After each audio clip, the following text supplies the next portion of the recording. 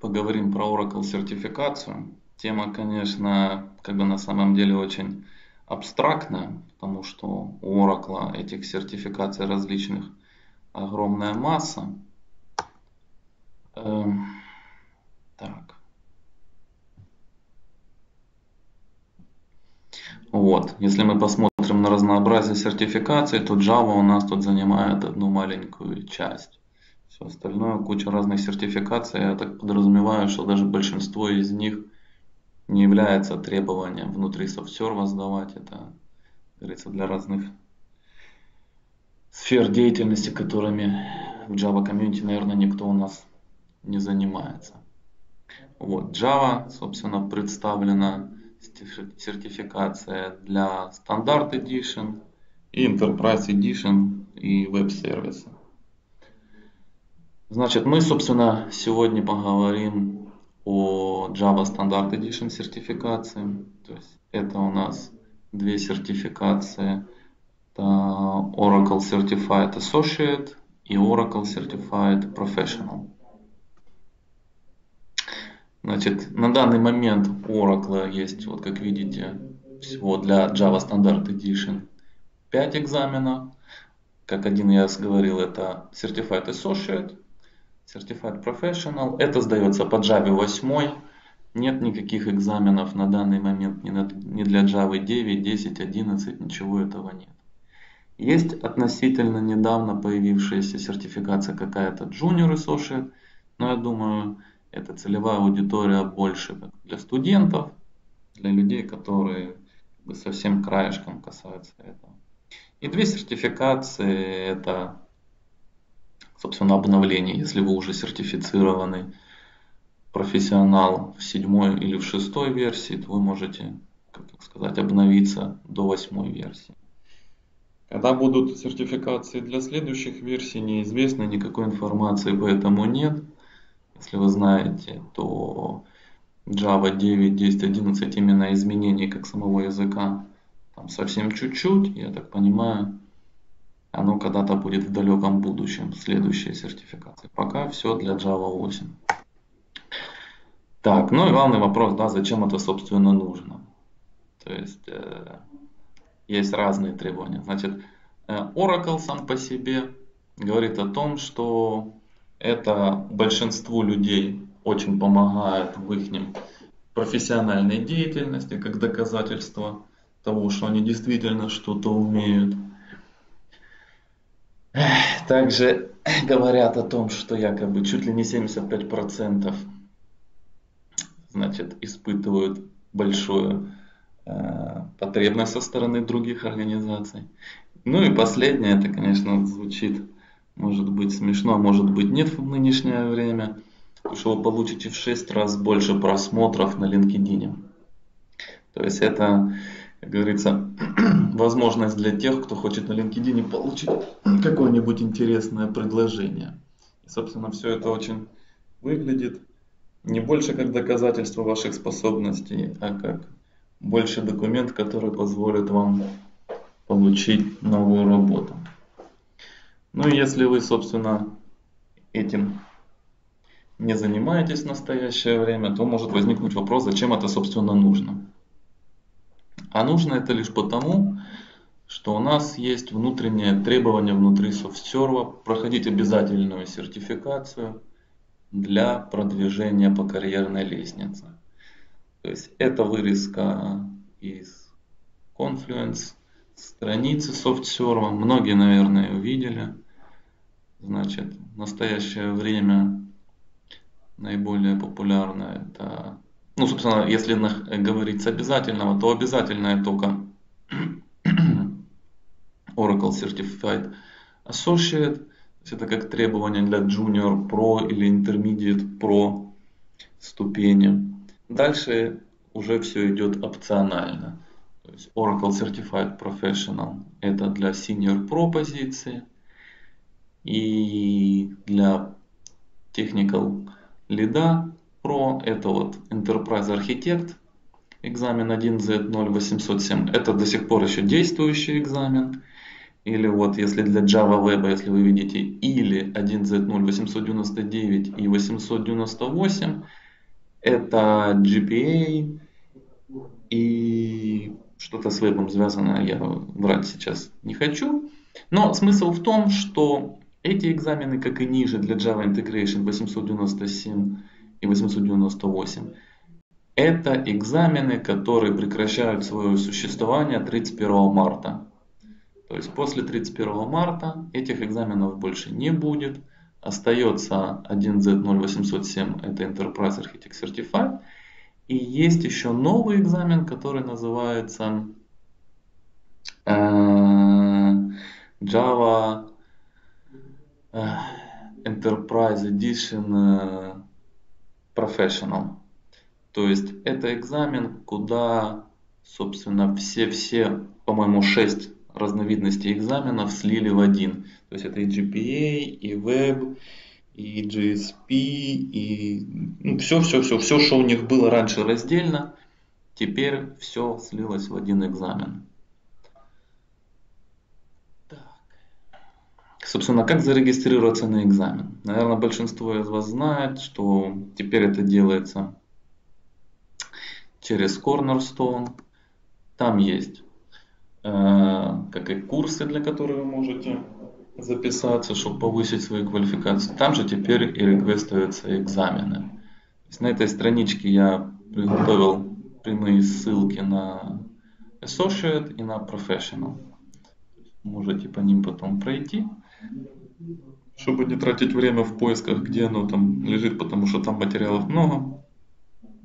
И, собственно, зарегистрироваться. Как только вы зарегистрируетесь, вы получите там в течение 50 минут email, и там, я уже не помню, на 15 пунктов расписано, что, собственно, вам нужно сделать. Мы сейчас в это вдаваться не будем, то есть каждый получит, там ничего военного нету. То есть проследуйте по инструкции, создадите аккаунт в PersonView, если у вас нету, зарегистрируйтесь на Oracle, свяжете. Ну, в общем, вы это все узнаете. Вот, поэтому приступим. У нас мы обсудим, как я сказал, э, Certified Associate и Certified Professional сегодня. То есть э, это две части. Начнем с Associate, закончим Professional. Ну, структура их будет примерно одинаковая. То есть она не будет сильно отличаться. Отличаться, как говорится, будет немного примерами, которые мы рассмотрим. И, собственно, темы, которые они покрывают. Значит, по самому экзамену э, длительность 2,5 часа, всего 70 вопросов, проходной балл это 65%. Значит, на самом экзамене, если вы вначале прочитаете страничку, там будет указано, что вопросы оцениваются неравноценно, то есть могут быть вопросы, как, которые не несут никаких баллов, и вопросы, которые несут больше, чем обычно. Но этого вы ни на одном вопросе не увидите никакой пометки о том, что это вот там тест без баллов, а это тест с большими баллами. То есть вы должны отвечать на все вопросы. То есть если вы будете не успевать, как говорится, ну поддайтесь удаче и выбирайте на обум. Это будет все равно лучше, чем оставить неотвеченные вопросы. Это все-таки дает какой-то дополнительный шанс, если вдруг вы окажетесь на границе. Значит, стоит 150 долларов.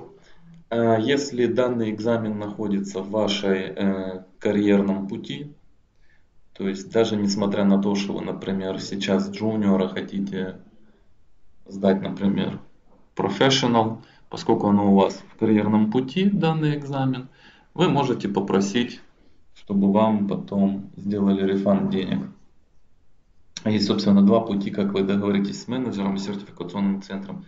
То ли за вас сразу заплатят, то ли вы платите сами, сохраняете чек, и потом, когда успешно сдаете экзамен, отсылаете назад этот чек и свидетельство о том, что вы успешно сдали, и в течение недели вам деньги вернут на ваш расчетный счет. Значит, темы э, для Java Associate темы, как говорится, начинаются по сложности, э, как сказать, ну, от простого, так сказать, до, до среднесложного. То есть в Associate нету там э, ничего касательно пинамов, нет ничего касательно многопоточности или еще таких вещей, которые больше называются э, Certified Professional, как использование Java API. То есть тут э, Associate больше о базовых конструкциях самого языка. То есть как объявить переменные, как, в каких вариантах это можно сделать, и как запускать программу из командной строки, как должна быть описана точка входа.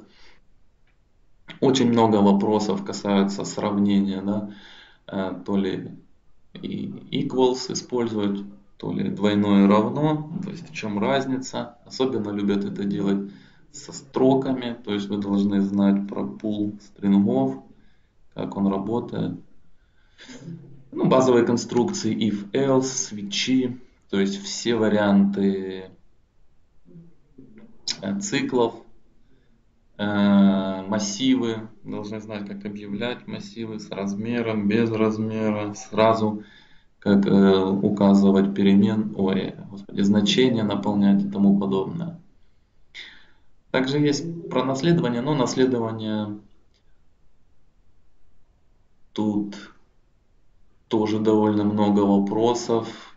То есть нужно четко понимать, как переопределяются, перегружаются методы, потому что вопросов на этом очень много. Выглядят эти вопросы так, что, конечно, никакой нормальный человек в реальности такого делать не будет, но вы будете в роли компилятора на экзамене, что на Associate, что на Professional. То есть никаких подсказок, ничего не будет. Будет все в таком серо-голубоватом фоне вопросы, не разноцветные, одного цвета. Поэтому там будут разные трюки, чтобы вас обмануть. Дальше. Ну так, э, работа с классами, то есть тут упоминается string builder, но string builder он совсем чуть-чуть. Совсем чуть-чуть вы должны знать, что он mutable, что это не одно и то же, как строка. И, собственно, больше, чтобы сказать там методы буквально append и все. Там сильно в детали никто не вдается. Есть немного затронута тема времени. Очень э, любят на экзамене использовать вопросы с переходом на летнее время. То есть и потом вычитать эти время или даты.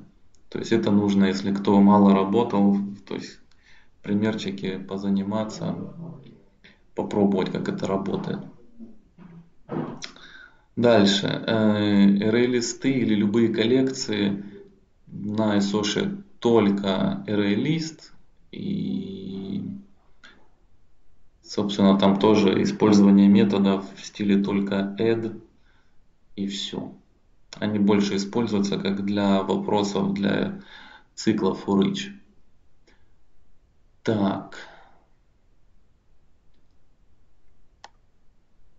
Значит, инкапсуляция и как работать с методами. Ну, инкапсуляция там минимальная, то есть просто упоминание о том, что хорошая практика сеттеры и геттеры, но на экзамене ничего этого практически не будет. То есть это будет на professional упоминание, что то есть оно не будет расписываться, там будет строчка говорит, что считаем, что геттеры, сеттеры правильно определены и имеются в классе. То в Associate ничего такого никто не соблюдает, этих практик. Там будет э, как угодно написано. Нужно четко понимать модификаторы доступа на этой почве. Там тоже много вопросов, которые пытаются подловить, как идет наследование, как переопределение. То есть все это будет. И обработка исключений. Ну, тут она представлена просто try-catch, нет уточнений про finally, нет уточнений никаких про типа try-catch с ресурсами или что-то такое.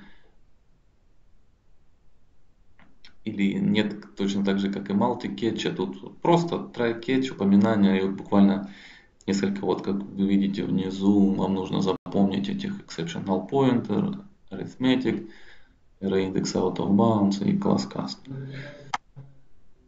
Значит, материалы для подготовки.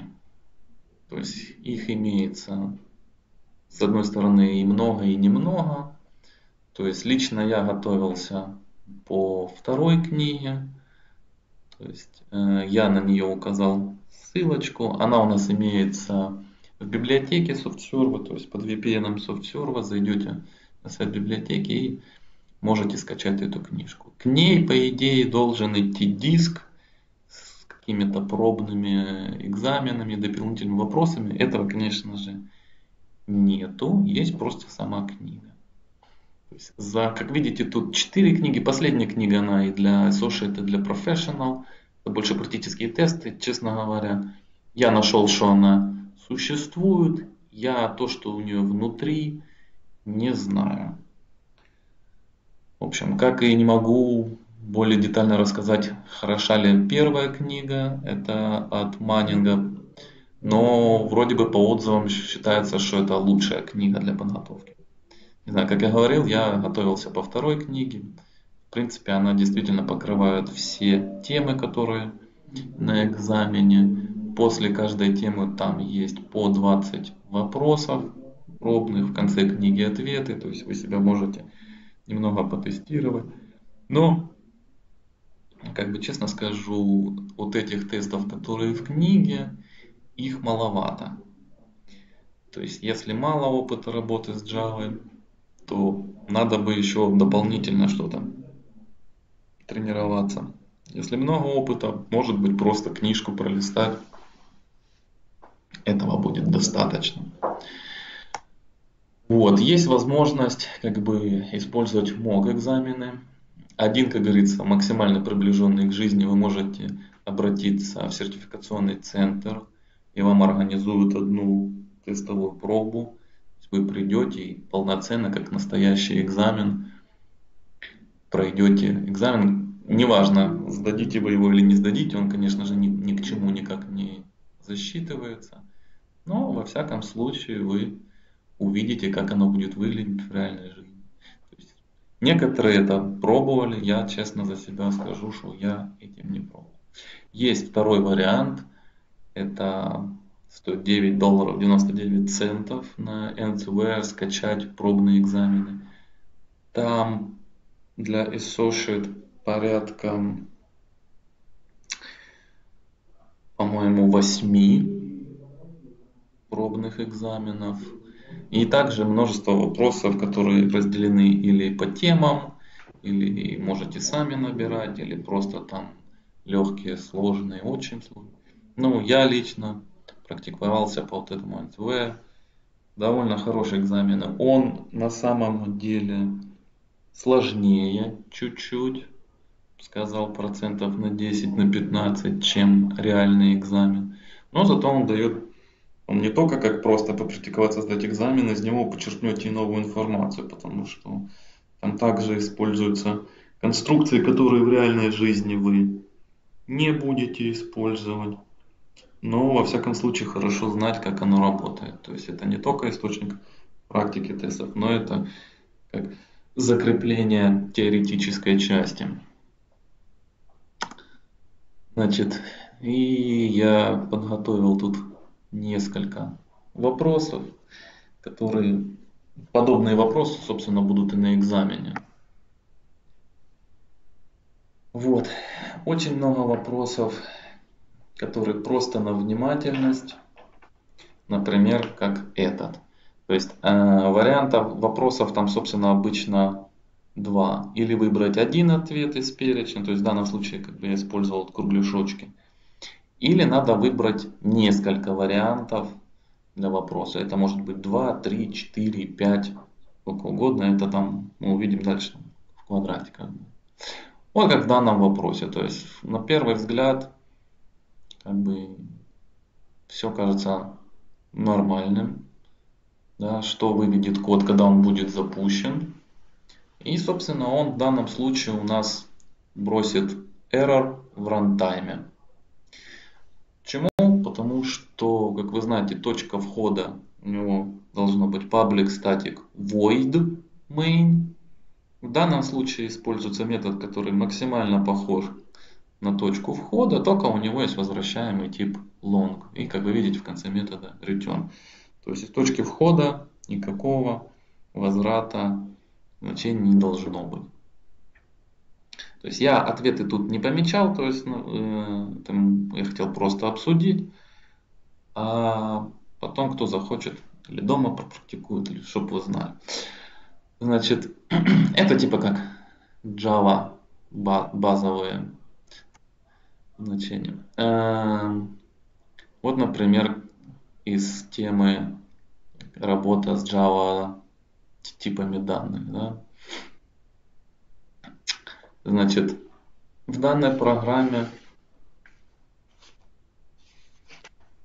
у нас вопрос, что выведет данный метод. И вы должны знать, что на ссылочных типов примитивов, да, когда нам случае у нас integer long, когда вы используете equals, это не будет просто сравнение значений, да, в данном случае у нас и integer 1 и long 1. В данном случае в первую очередь проверяется тип. И поскольку тип long не соответствует типу integer, это автоматически приравнивается к not equal. То есть в данном случае это будет not equal. То есть проверяйте, как сравниваются вот эти ссылочные типы примитивов. Потому что там есть небольшие нюансы. Значит, следующий вариант использования операторов. Значит, вот кусочек кода у нас. И опять же, тут больше на внимательность данный вопрос. Если вы обратите внимание, то у нас на переменной t идет вызов int value, но предварительно мы думаем, что мы скастили t к интеджеру. То есть вы должны знать, что когда идет через точку, это имеет больше приоритет, чем скобки. То есть в данном случае нужно было обернуть переменную t еще раз вместе с интеджером в скобках. То есть сначала бы тогда был у нас cast до интеджера, и уже у интеджера мы вызывали бы int value. А в данном случае у нас t это object, а объекта нет метода int_value. Соответственно, в данном случае у нас не скомпилируется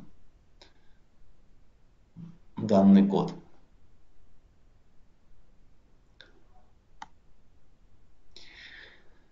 Так, это на тему использования массивов. Видите, тут есть и try-catch. Эм, значит, тут Ответ у нас будет в данном случае true. То есть э, вопрос звучит, выведет ли у нас индекс равно 2, когда скомпилируется и запустится. То есть в данном случае вы должны опять же знать э, приоритет выполнения. То есть если мы посмотрим в блоке try, мы знаем, что у нас getArray по факту возвращает null. То есть и у нала мы можем сначала подумать, что будет null exception. Но смысл в том, что null это тоже является как бы ссылочным. И внутри обращения к индексу у нас идет сначала присвоение индекса в данном случае к двойке, а потом попытка обратиться к, к индексу 2 эрея, который у нас, собственно, null. И вот тогда, когда произойдет присвоение индекса, двойки индексу, у нас будет null pointer exception, который мы поймаем и, собственно, и распечатаем индекс равно 2. Это следующее у нас циклы. Значит, вопросов с такой интерпретацией циклов достаточно много. Будет вот эти вот различные операторы префиксные, постфиксные, в циклах while или do while. То есть не знаю, откуда такая любовь у них к ним, но есть такое дело. То есть тут вы должны знать про разницу, то есть постфиксного и префиксного инкремента. То есть вы знаете, что если мы бы обратились просто, допустим, while, тут плюс-плюс i, то есть решение было бы совсем другое, если было бы сначала i плюс-плюс меньше 5. То есть если у нас префиксная, то у нас сначала идет инкрементация и возвращение значения, а если постфиксная, у нас идет сначала возвращение значения, а потом инкрементация. То есть в данном случае ответ у нас будет второй, это 5, 6. То есть э, иногда бывает в голове не совсем удобно удержать все эти вот изменения. У вас на экзамене будет такая, ламинированный листик, даже два, и маркер, собственно. И вот на нем вы сможете делать любые свои пометки, какие душе угодно. Если нужно, вручную перебирать циклы на этой пластике. То есть сразу проверьте, что этот маркер пишет, что у вас этот листик есть чтобы потом никого не отвлекать и или вдруг что покажется не было, чтобы вы не теряли времени, потому что, как говорится, кнопочки сделать паузу на экзамене нету. То есть один раз отсчет времени начался и, собственно, все. После этого обратного пути уже не будет. Значит, следующий вопрос. Это у нас на работу с методами. Ну, Тут довольно-таки коварный вопрос. Если вы обратите внимание, опять вызов в самой последней строке System Out println get database возвращает у нас null. И у null мы вызываем поле URL, статическое поле. То есть смысл этого вопроса заключается в том, чтобы вы подумали, что будет null pointer exception. Но его не будет. Будет выведено значение gettingdb и, собственно, сам URL без каких-либо исключений. Весь смысл заключается в том, что null, собственно, представляет собой ссылочный тип database wrapper, и поскольку URL является статическим полем, то есть объект данного класса не требуется, и даже у null вызов URL вернет нам желаемую строку. То есть такие вопросы есть. Их не так много, но они попадаются. То есть вы должны знать.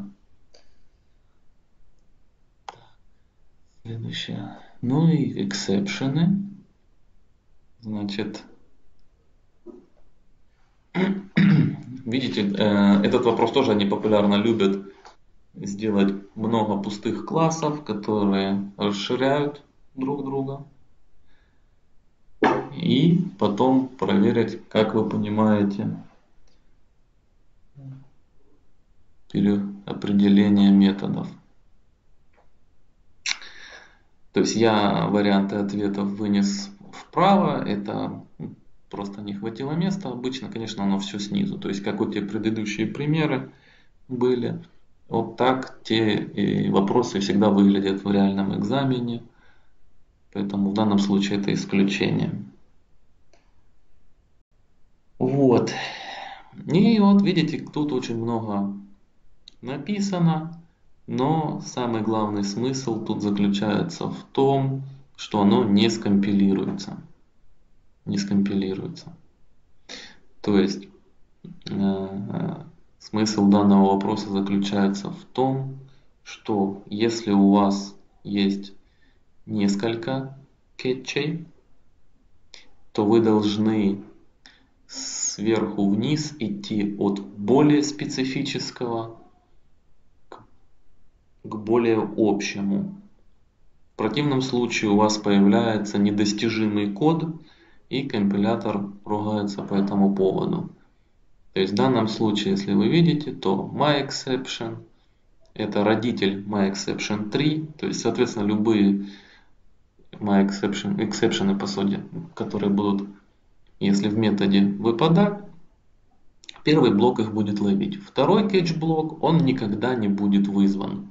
Соответственно, он считается недостижимым кодом и, собственно, код не компилируется. Вообще очень много вопросов вот именно где ответ не компилируется. Э, то есть нужно в первую очередь всегда просматривать компилируется ли метод или класс или кусочек кода, потом переходить уже к более детальным разборке. Ну и работа с временем и датой. То есть, поскольку в 8 Java, если вы знаете, было полностью переписано подход к работе с временем и датой, то есть пакет Java Time, он включен, поэтому ему Java Associate не так много внимания, но вот в Professional уже гораздо больше.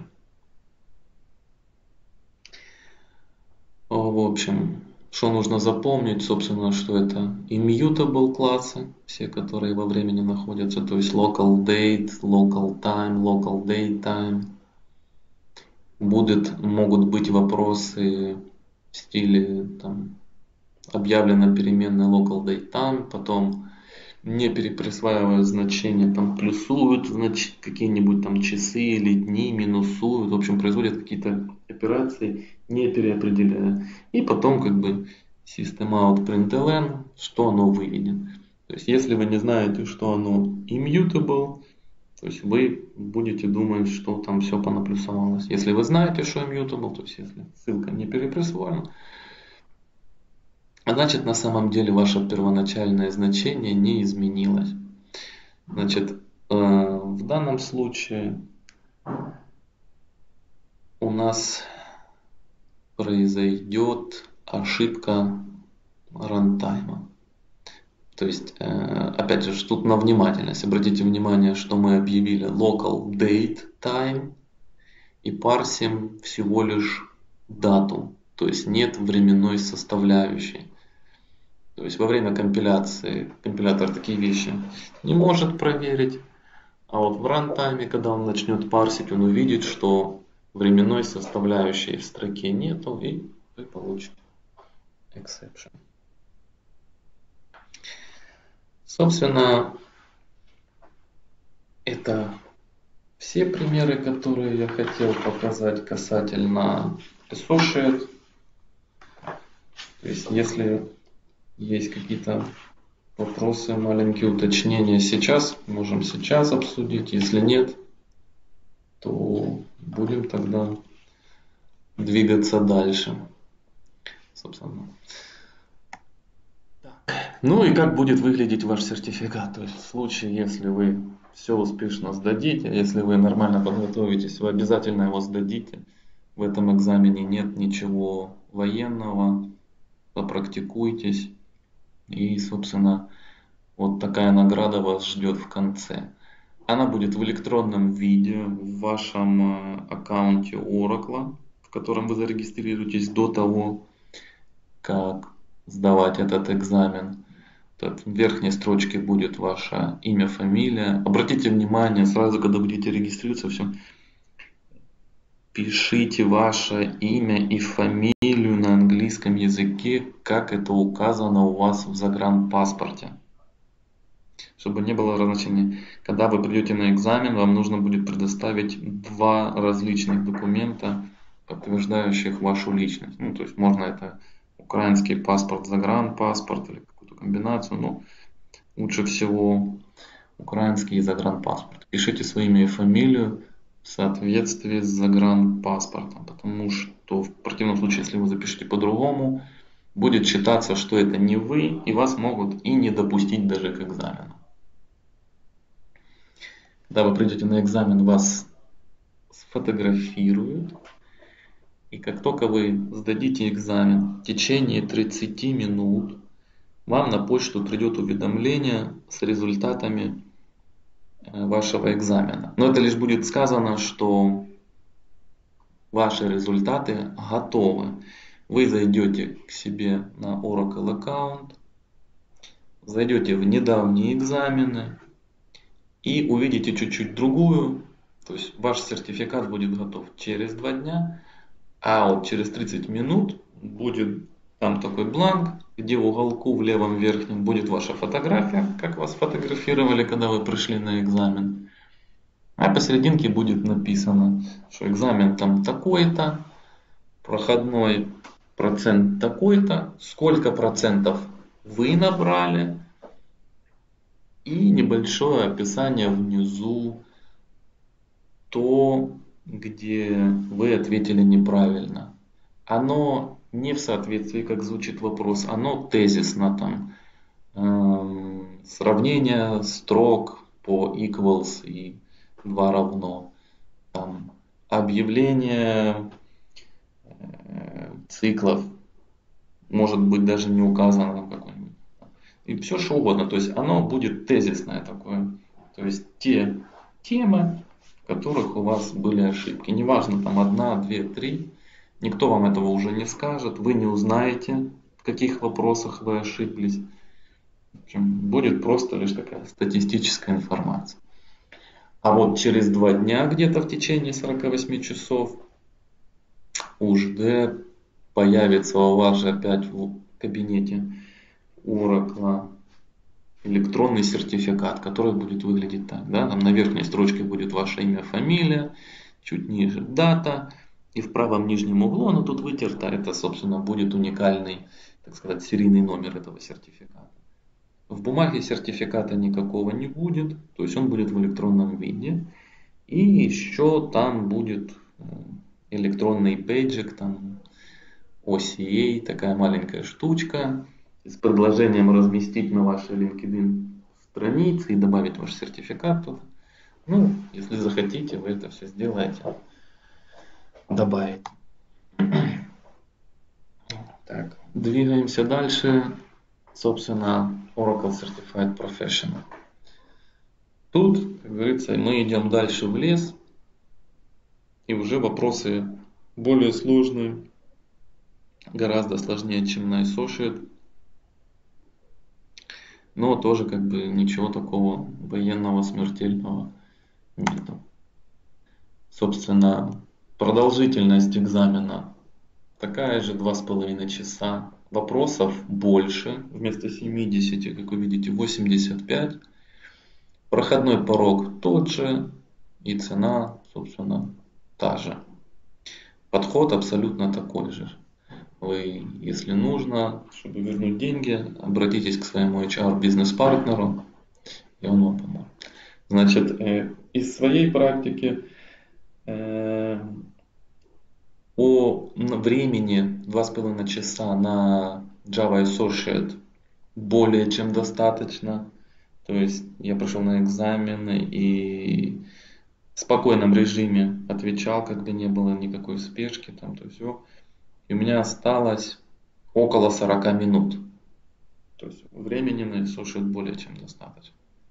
Вот. Э, на Professional времени в обрез, поэтому когда будете практиковать, пожалуйста, засекайте время.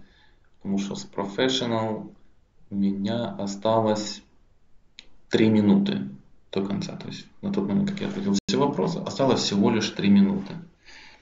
Те люди, кого я знаю, которые сдавали, обычно ни у кого больше, чем 10 минут не остается. Так что Обратите на это внимание. Ну и темы. То есть тут уже обсуждается дизайн классов. В данном случае это переопределение хэш-кода equals, как это связано между собой. Более глубоко рассмотрен полиморфизм, дополнительные э, из, а, паттерны. Ну, из паттернов тут всего лишь синглтон будет обсуждаться. И, в принципе, пару вопросов может на экзамене реальном касаться этого. Синглтон, там, эм, вопросы могут быть в стиле какой-то кусочек кода данный, там, какие строчки заменить чем, чтобы получить синглтон. Или может быть просто вопрос, вот, какие признаки синглтона, что в нем должно быть. То есть вы должны знать, что это должен быть приватный конструктор, публичный статический метод, который возвращает ссылку на объект. И, ну, собственно, все в данном случае. Эм, собственно, больше никаких паттернов нет. Потом, как они называют, продвинутый дизайн классов, это уже работа с внутренними классами, статическими внутренними классами, анонимными классами, локальными классами. То есть вопросов немного на эту тему, но они есть и весьма изощренные. То есть кто плохо владеет этим, тоже уделите внимание, поиграйтесь, как оно работает.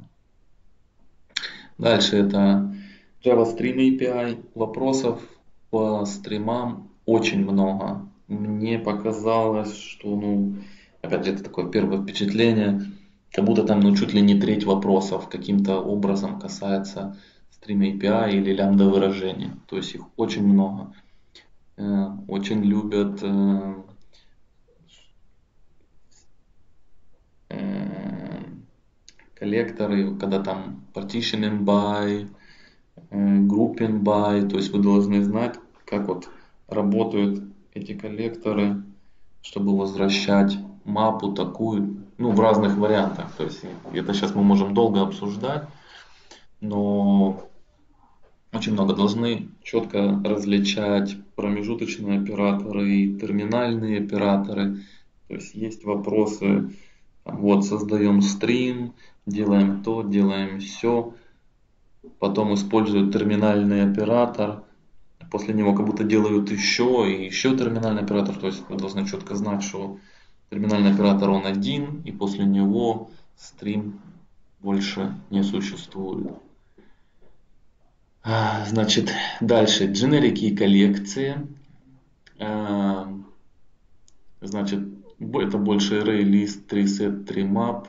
То, что касается, ну, тут почему-то не дописано, что и set, и map. Но главное, что нужно в данном случае для экзамена запомнить, это разницу map и set от 3 set и 3 map. Собственно, то, что одно сортированное, другое не сортированное. Э, array list, то есть linked list особо не рассматривается, но особая любовь есть э, к ArrayDQ. Q, э, интерфейсе DQ, достаточно вопросов, что вот четко должны понимать, что кто там first in, first out, а кто из них first in, last out.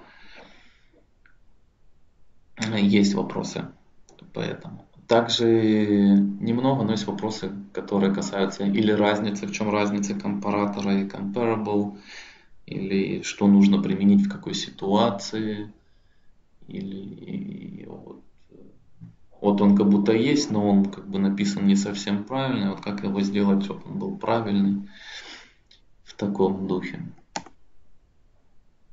Ну, у нас лямбда э, функции, то есть нужно знать практически все функциональные интерфейсы стандартные, которые есть.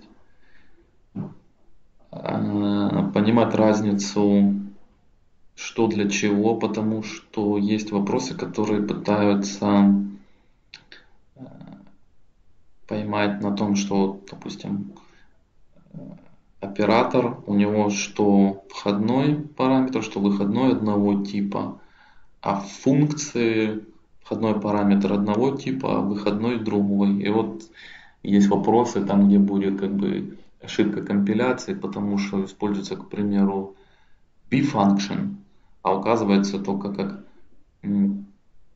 входной первый параметр, тип параметра, тип второго входного параметра, а, например, тип выходного не, значение не указан.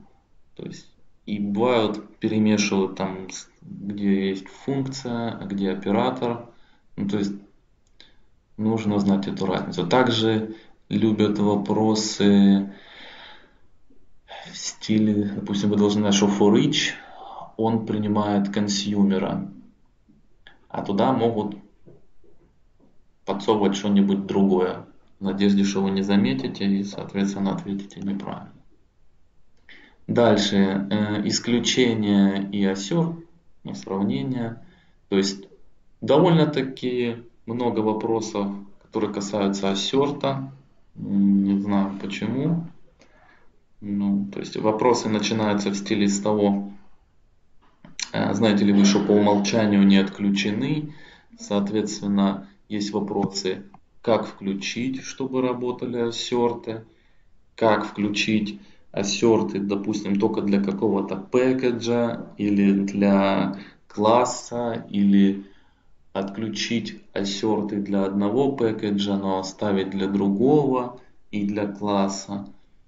То есть нужно быть внимательным в этом плане. Также это ошибки, это теперь try-catch с ресурсами, multi-catch и finally. То есть очень много вопросов с try-catch, э, с ресурсами. То есть, э, когда закрываются ресурсы, в какой последовательности закрываются ресурсы, как подавляются ошибки, если они во время закрывания ресурсов, куда они деваются и как их увидеть. Дальше у нас э, input-output и new input output 2. Значит, первое, вопросов этих немного, но они есть. Первое, собственно, нужно различать, кто работает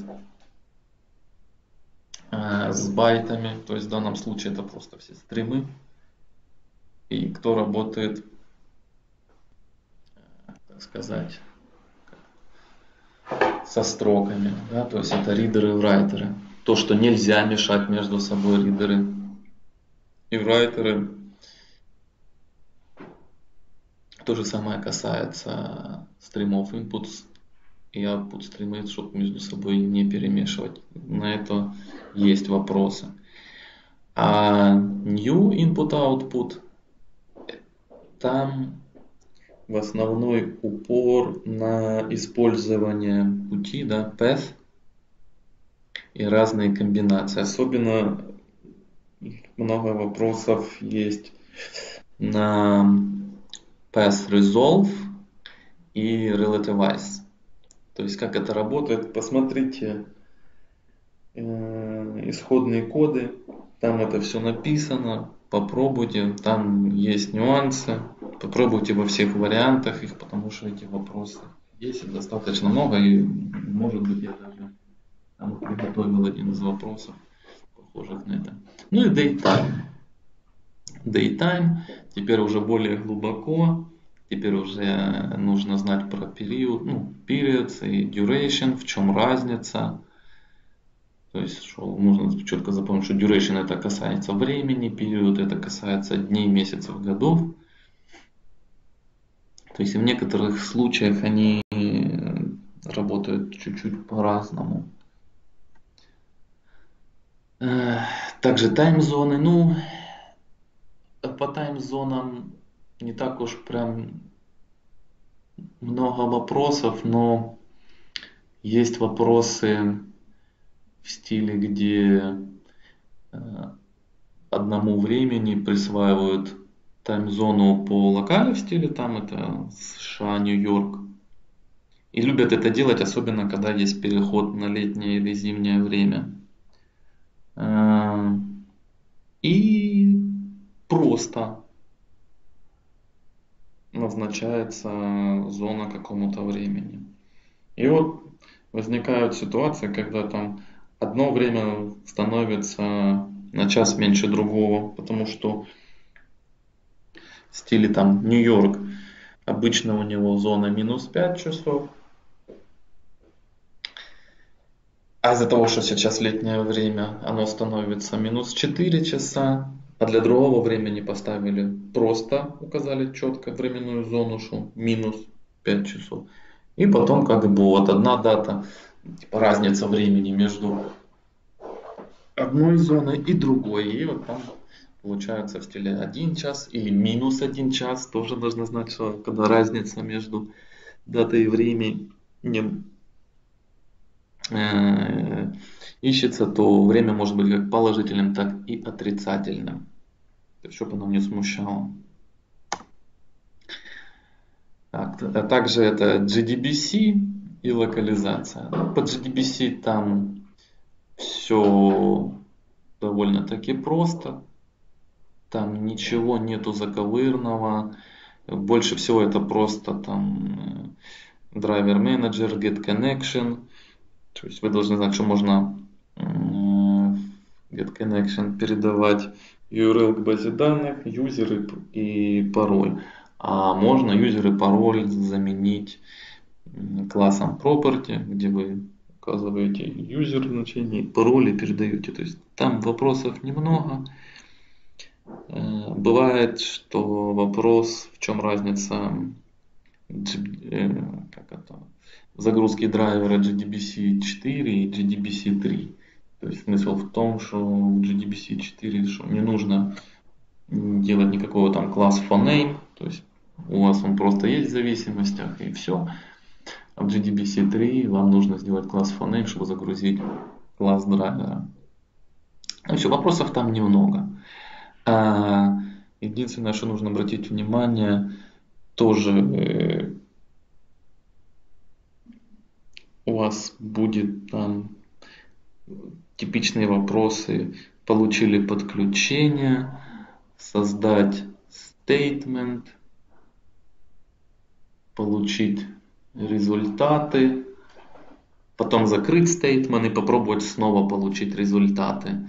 Вот в таком духе, что приводит к ошибкам. Больше каких-то там таких специфических вопросов, как бы, наверное, и нету. Локализация. По локализации вопросов тоже немного. Главный смысл э, нужно четко представлять, как загружаются эти файлы. Первое, как создать локали, какие есть варианты исполнения, то есть в данном случае это new locale, как минимум нужно указать язык, вы должны знать, что страна не обязательно. Можно взять э, статическое значение, там locale.us, к примеру, в общем, а дальше в Resource Bundle, как вы передаете locale, как засетить дефолтную locale и как оно загружается. Потому что есть вопросы в стиле, э, э, говорят, э, что у нас мы находимся в локале US, потом в коде э, создается locale Japanese, к примеру, и передается в Resource Bundle. И потом пишет, что у нас есть в ресурсах э, такой файл, такой файл, и что оно выведет. То есть вы должны знать, что сначала то, что в Resource Bundle передали, он проверяет. Потом откидывается страна, проверяется с этим языком, если нет. Если этого нет, проверяется дефолтная локаль. Если уже дефолтной локали нет, то уже без всяких без языков это последняя попытка получить ресурсы, это попробовать найти файл, у которого нету ни языка, ни страны.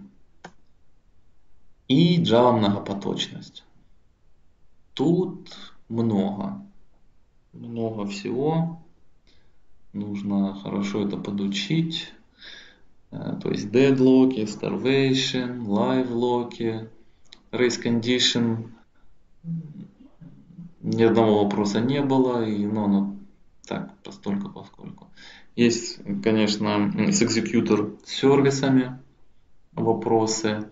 Вот, например, вопросы с cyclic barrier. Не было вопросов, но это же не значит, что их и не будет. Да, и работа с fork join фреймворком. Там не сильно сложные вопросы, но тоже попадаются, поэтому лучше попрактиковаться. И как часть этого есть вопросы, они, которые касаются и Java стримов, это вот параллельные стримы. Как оно будет работать, если параллельные стримы. Ну, не скажу, что прям такие дебри заходят, но есть такие вопросы. Так, материалы для подготовки. Собственно, в данном случае их чуть меньше.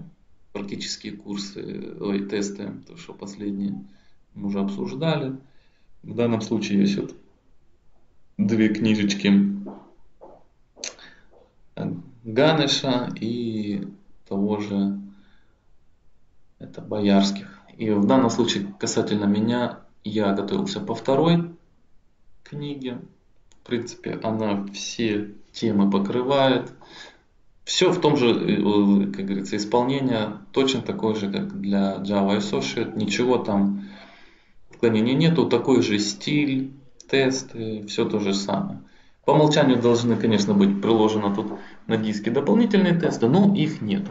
Ссылочка присутствует на софтсеровскую, ой, на софтсеровскую э, библиотеку, где вы можете скачать. Э, первая книга, не знаю, лучше или хуже, врать не буду, но за вторую книгу я скажу, что в принципе хорошая.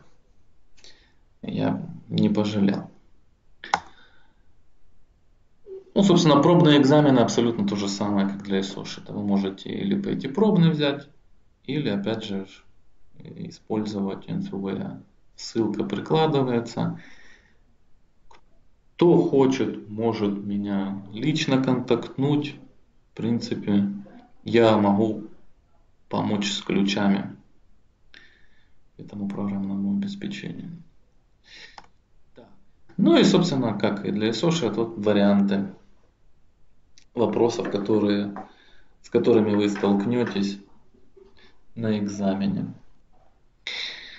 А, то есть, вот, например, как вот что будет выведено в консоль у нас, да, для данного класса. Тут вы должны понимать, как загружаются классы и что выполняется первым, что вторым. То есть, если мы посмотрим на main метод, то вот как только мы указали static тест переменную, то выполняется статический блок. Он выполняется один раз. То есть, при указании этой ссылки загружается Java класс. Если там есть статические блоки, они выполняются один раз после загрузки класса. То есть в данном случае у нас выведется inStatic. Потом мы выводим в консоль 1. Потом мы создаем объект класса. Когда создается объект класса, вы знаете, что первым выполняются динамические блоки. То есть у нас есть тут динамический блок и non-static, который выводит. Дальше мы выводим двоечку и, собственно, снова создаем объект класса, который снова выполняет динамический блок. То есть динамический блок у нас выполняется каждый раз при создании объекта. Собственно, в данном случае это будет ответ первый instatic, 1, in non-static, 2, in non-static, именно в этом порядке. Так вот, э, собственно, касательно, так сказать, продвинутого дизайна классов, это вариант, вот как видите, тут вы нужно выбрать три опции. Три опции. В общем, это, как говорится, касается как переопределяются методы. То есть нужно выбрать три независимых варианта, которые можно выполнить, чтобы у нас не было проблем. В данном случае это первый вариант, то есть интерфейс, который расширяет другой интерфейс, может ничего не объявлять, это не обязательно. Второй вариант некорректный, потому что интерфейс не может имплементировать никакой интерфейс. Третий вариант. У нас абстрактный класс имплементирует интерфейс, но поскольку он абстрактный, он не обязан имплементировать. То есть это должны будут делать не абстрактные наследники. То есть данный вариант тоже подходит. Четвертый вариант у нас абстрактный класс, который имплементирует и, собственно, добавляет метод, при том, что он не имплементирует ничего из hello, но это тоже не запрещено. Абстрактный класс не обязан имплементировать методы интерфейса. И последнее у нас, собственно, неверно, потому что у нас невозможно, компилятор не, не, не сможет определить, какой метод. Если видите, у нас сигнатура метода совпадает hello и два инта входные параметра, а возвращаемый тип разный. Соответственно, это недопустимый. Последний вариант неправильный. Так, дженерики и коллекции. Значит, как видите, тут много чего написано. Главный смысл данного вопроса вы должны знать, что tail map он у нас, как говорится, использует, собственно, все тот же, все ту же родную мэпу. То есть это не абсолютно новый объект со своими данными, это всего лишь как такая прозрачная оболочка. То есть в данном случае, если мы выше глянем pole last entry, pole first entry, то есть это то, что у нас все операции, которые pole, они удаляют элемент, то есть в данном случае у нас элемент с ключом А и элемент с ключом CC удалится. Потом мы берем tail map и снова делаем pole first, то есть он снова удалит элемент. Но это не будет просто элемент от tailmap, поскольку это всего лишь, так сказать, часть той первоначальной мапы, то удалится этот элемент из мапы. То есть первый элемент для tail будет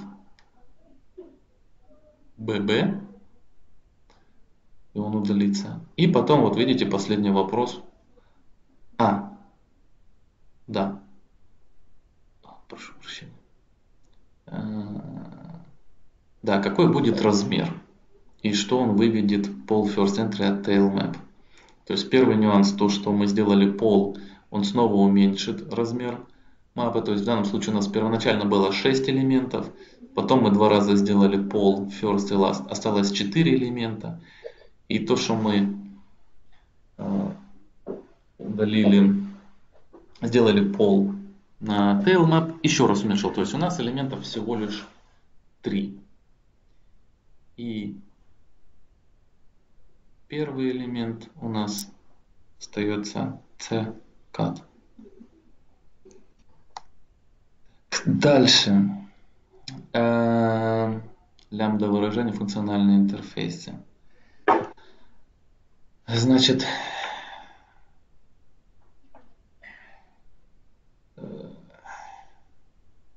у нас есть два метода статических operate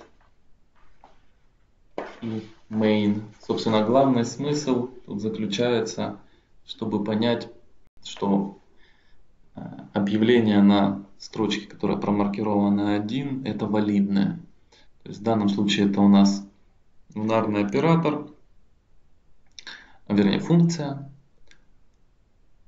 которая возвращает унарный оператор. И в строчке, которая промаркирована 2, имеется в виду, что у нас это 20 будет передано как A в данном случае. То у нас, э, у, на, ну, FO будет содержать унарный оператор, где будет уже как бы 20 минус нечто. И вот когда мы э, вызвали apply,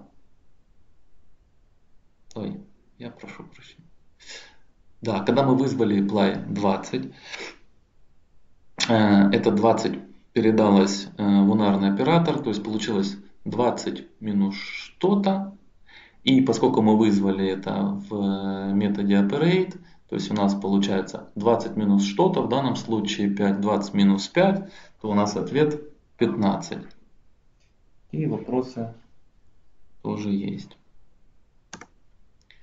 Так, вопрос по стримам. Вот, обратите внимание, in stream, то есть э, иногда есть вопросы э, с подвохом, где есть просто range, где первый элемент включен, последний не включен, или range closed, где последний элемент тоже включен.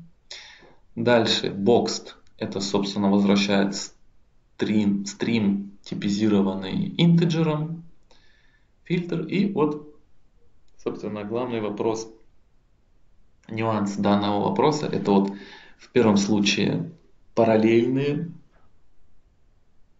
вызываются параллельные стримы и найти какой-то элемент. А во втором случае у нас последовательный. И тоже найти какой-то первый попавшийся, так сказать, любой элемент. И какой будет вариант ответа. Но в данном случае это третий сверху. Это будет два опшенала. То есть нужно э, понимать, что find any, он у нас будет возвращать optional, потому что в стриме может и не быть элементов. То есть значит будет optional, который в себе ничего не имеет. Это первое. А второе, э, почему третье, да, он может иметь 13, 14, 15 значения, что в первом, что во втором случае. То есть в первом это вроде бы оправдано тем, что параллельные стримы, не, мы не знаем, в каком стриме будет найден этот первый любой попавшийся какой-то элемент. А во втором случае у нас вроде бы как последовательно.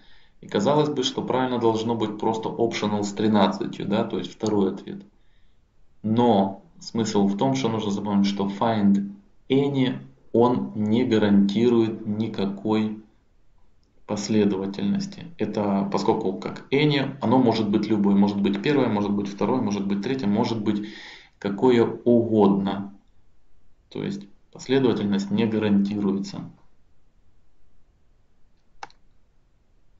Так, это у нас NIO 2. А, вот то, что я говорил, а, это работа с путями. Да, то есть имеется первоначальный путь P1 с каким-то значением.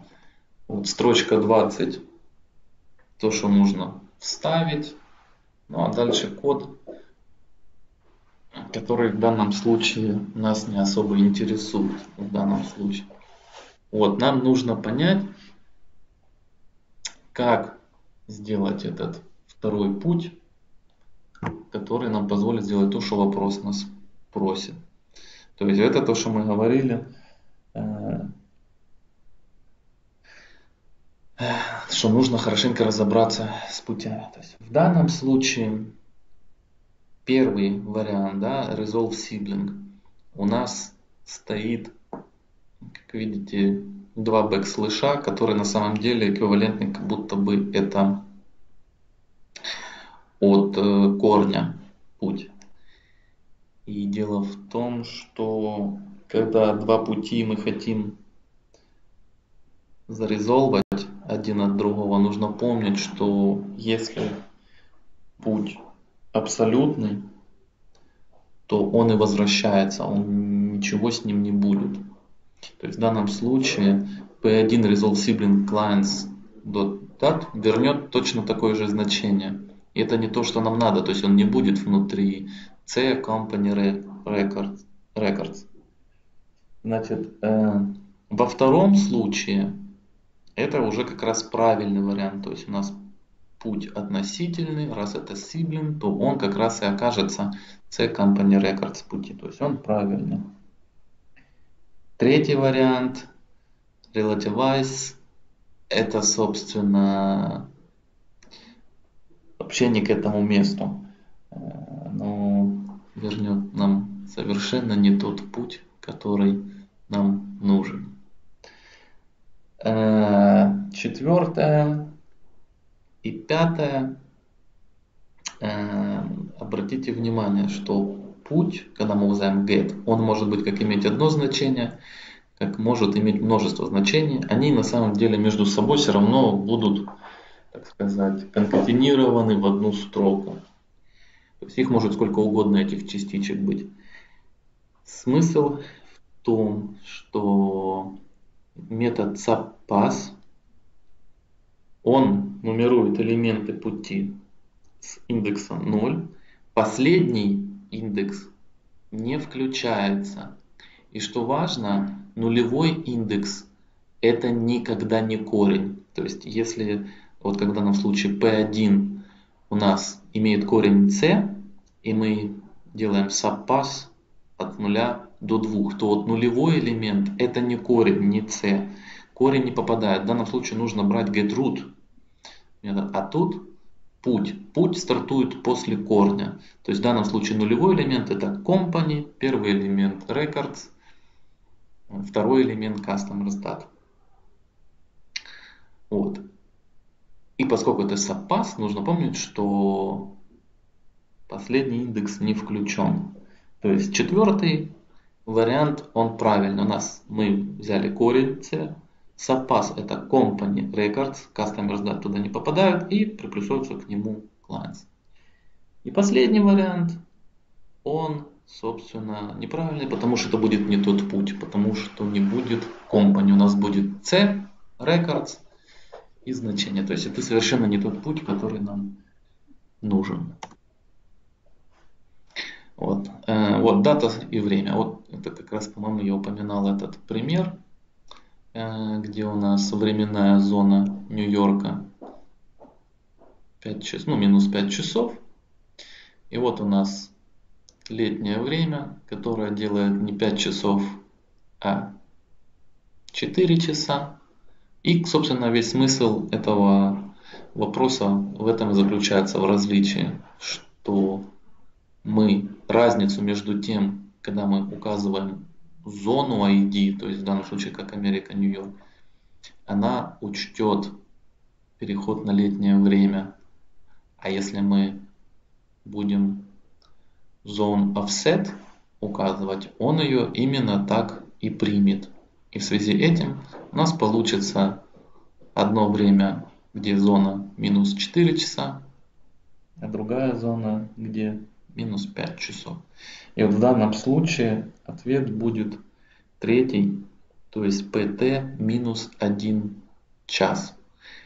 Э, обратите внимание, тоже надо запомнить, что когда выводится на консоль duration, то она всегда имеет маркировку pt.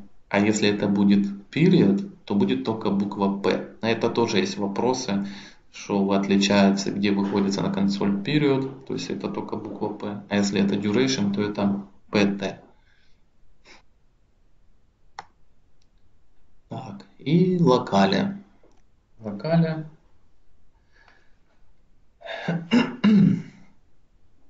Значит, дается вот код, вот если мы обратим внимание, то есть у нас встретится дефолтная локаль, Потом создается новая локаль. И в ресурс bundle мы отправляем Japanese локаль. Да, и потом пытаемся из этого ресурса взять строку greetings и у нас есть два файла. Видите, один, который по сути дефолтный и который у нас для французской Канады. Да? Общем, и, собственно, вопрос, что с этим будет, да? И ответ, собственно, что никаких проблем с этим не будет. Что не имеет значения, что мы находимся, ну что мы установили дефолтную локаль одну, а передали в ресурс другую. то есть э, в данном случае ответ это последний, то есть оно будет работать без проблем всему миру. То есть никаких тут нету причин или чего бы то ни было, почему оно не должно работать. Ну, собственно, с вопросами мы закончили. И ваш сертификат, Certified Professional, будет выглядеть практически один в один, как и Certified Associate, вместо только с той разницей, что Associate будет заменено словом Professional, и, собственно, все. Все остальное будет выглядеть точно так же. Механизм один и тот же. Получение этого сертификата в своем кабинете, бейджики и т.д. и т.п. Ничего другого не будет. То есть это такой же, как и Associate экзамен, только сложнее. Благодарю вас за ваше время. Если есть какие-то вопросы, уточнения или какие-то специфические вопросы, пожалуйста, задавайте, давайте обсудим. Е, Та, привіт, от ти здав OCA OCP. Чи ти плануєш здавати якусь вищу сертифікацію? Як ти вважаєш, чи тобі е, помогла підготовка і здача оцих двох сертифікацій краще розуміти ті речі в Java взагалі? Чи просто там, що е, більше переглядали твій LinkedIn профайл, коли ти поставив баджик? Тобто Нет, честно э, скажу так, э, то есть у меня цели не было LinkedIn, бэджики и тому подобное.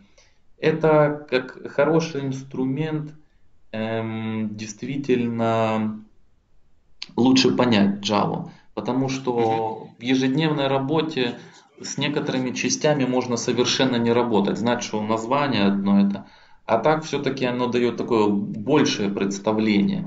Оно не дает там каких-то супер навыков или вот такого что-то, но дает лучшее все-таки представление, понимание некоторых вещей, и все-таки как-то ты уже чуть-чуть по-другому потом смотришь на этот код, который делаешь, что сам себе меньше подножек делаешь. То есть э, я считаю, что он довольно-таки полезный, чтобы более широкий взгляд иметь на Java. Иначе можно просто сидеть на проекте, я же говорю, и какой-то лишь в одной части работать, а другой даже не знать ни малейшего представления, как оно там функционирует. Угу. І чи плануєш, може, в майбутньому здавати якусь там вищу? В принципе, как бы хотелось, но сначала хочется от этого отдохнуть. А угу. другое дело в том, что Э, ну, во-первых, всегда все-таки легче готовиться, когда есть какие-то материалы четко подобраны. И как я сказал, вот э, те экзамены, которые я изначально хотел еще GPA сдать, он э, ну, 31 марта прекращает свое существование. А тот, что заменяет, он по сути у себя под капотом 6 экзаменов держит. То есть раньше, которые были 6 экзаменов, вот это, которое, по-моему, Java Enterprise Edition Developer, оно по сути теперь 6 экзаменов слило в один, и при этом, ну пока, он довольно недавно появился, пока нет никаких подготовительных материалов, чтобы хотя бы посмотреть, э, осознать ну, масштаб трагедии, потому что я ну, по форумам посмотрел, это некоторые американские товарищи, кто стал. Их там буквально единицы, и все они сказали, что экзамен очень сложный. И те, кто его сдал, говорят лишь потому, что его сдал, потому что у меня уже все эти шесть экзаменов были сданы. Собственно, потому что я хорошо знал. А вот так вот взять и как бы попытаться сдать, это, ну, это нереально. И поскольку материалов нормальных подготовки нету, и поскольку он, по сути, раздулся в своих размерах, то пока как бы я решил, что я чуть-чуть подожду, может там что-то устаканится или что-то Oracle пересмотрит, потому что якобы была информация, что изначально вроде бы задумывалось этот большой экзамен разделить все-таки на две части, которые касаются там фронт-энд, да, там JSP-шки и всякое такое добро, и бэк-энд А в итоге сделали один. И, ну, в общем, в общем, пока подождем, что может чуть-чуть там разведнеется. Угу. Ясно. І ще таке, про інші з OCI, скільки тобі часу пішло на підготовку до OCP? OCP э, я готовился два месяца. Ну, опять же, да, я расскажу, как я готовился, просто все ж по-разному готовятся. То есть семья, работа, все дела, времени не так уж много. Поэтому я взял эту книжку и сделал себе так, такую планку. 20 страниц в день. То есть я каждый день спокойно, методично тратил там вот около часика там эти 20 страничек читал, что мне понятно, непонятно там. И таким образом где-то ушел месяц, ну да, 20 страниц на 30 дней, это 600 там около страницы есть в этой книге. В общем, а второй месяц я просто практиковал эти экзамены. Потому что некоторые вещи, когда все-таки читаешь книжку, не вся эта теория в голове удерживается.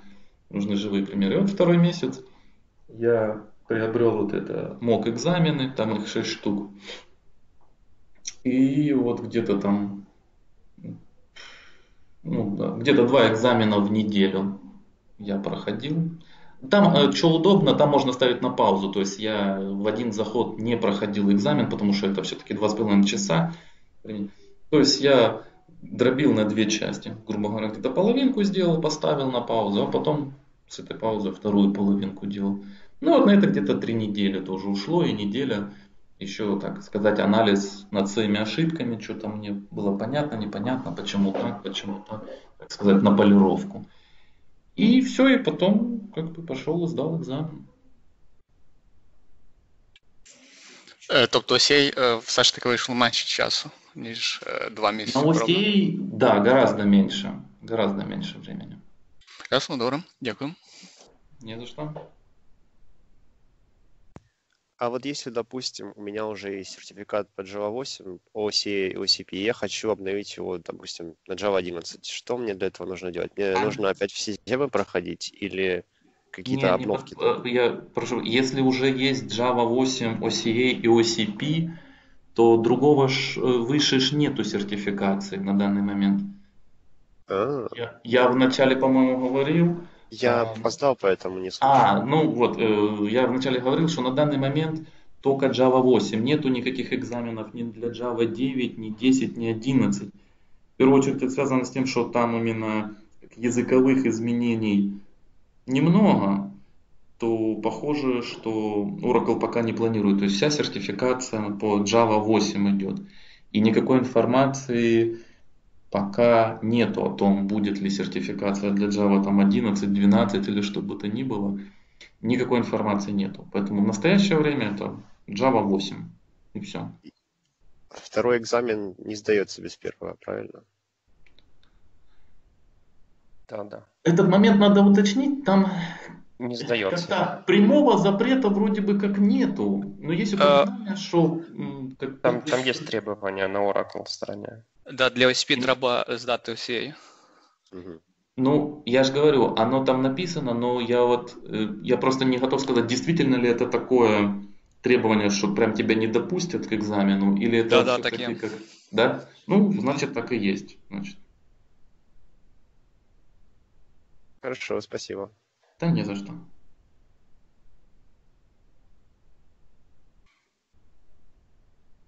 Еще Так, вопрос? ну, В принципі, питань ніби нема, але дуже хотілося б цю презентажку, щоб розі... ну, приатачили, надіслали. Да, да, будет, конечно. Да, у нас на Java комьюнити мы там все прикрепим, сделаем, все положим. Е, На Java Community, ну, мається на увазі до листа. Мы...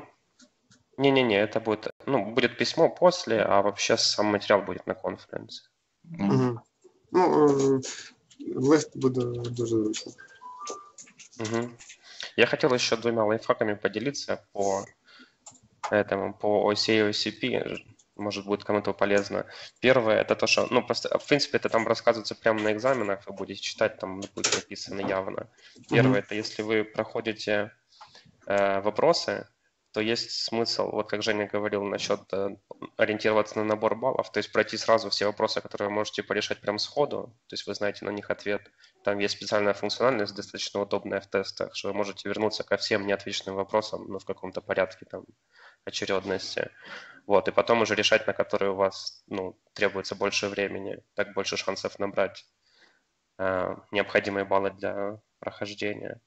А второй это прям хак жесткий, и там какой-то, по-моему, книжке это было написано, что если у вас есть какие-то пробелы в знаниях, ну, в плане вот вы какую-то тему очень плохо знаете или там хотите записать какие-то операторы, там, которые совмещаются друг с другом, вы можете прямо перед сертификацией их почитать, перед заходом в комнату.